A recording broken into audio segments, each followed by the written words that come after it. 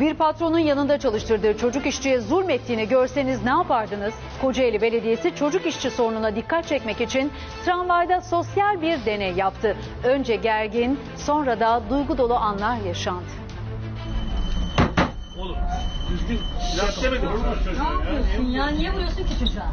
Çocuk işçi de rol yapıyordu, patronu da. Oyuncular tramvaydaki yerini aldı. Deney başladı. Birkaç dakika sonra çocuk işçiyle onu çalıştıran ve zulüm olsun diye ona kutu taşıttıran adama tepki yağmaya başladı. O çocuk kaç yaşında? Kaç yaşında? Bir dakika kaç yaşında? 8 yaşında. İşlem yapılacak hakkında.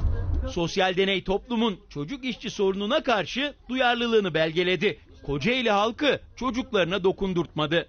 Ben öğretmenim. Bu şekilde yapmanız çok ayıp bir şey ya. Hanımefendi lütfen karışmayın o kendisi alsın yani. Bu kadar ağır kutuyu yazık Ağır günah ya. Kaç yaşında ne kadar kiloda bu çocuk? Kocaeli Büyükşehir Belediyesi çocuk işçi istismarına yönelik sosyal bir deney hazırladı. Tramvaya gizli kameralar yerleştirildi. İşbirlikçi adam rol gereği çocuğa kötü davrandı. Kardeşim niye eziyet ediyorsun ki çocuğa? Biz zevk değil hanımefendi. İş öğretiyoruz burada iş. Ne iş onu kucağında tutmak mı iş yani?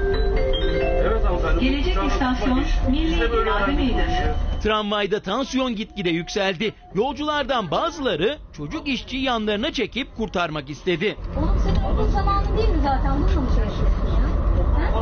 Ha? Hanımefendi doğru söylüyor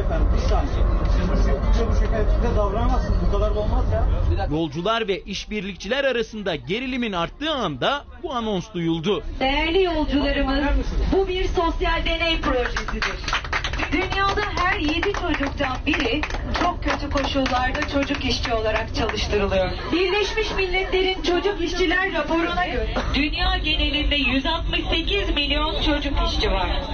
Yaşlına sahip çık, geçmişini unutma, çocuğuna sahip.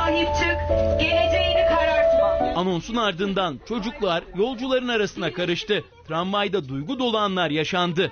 Deney de amacına ulaştı. duyarsız kalamazdım ya. Kesinlikle kalamazdım yani. Yani çok sinirlerim bozuldu. Hala titriyorum yani.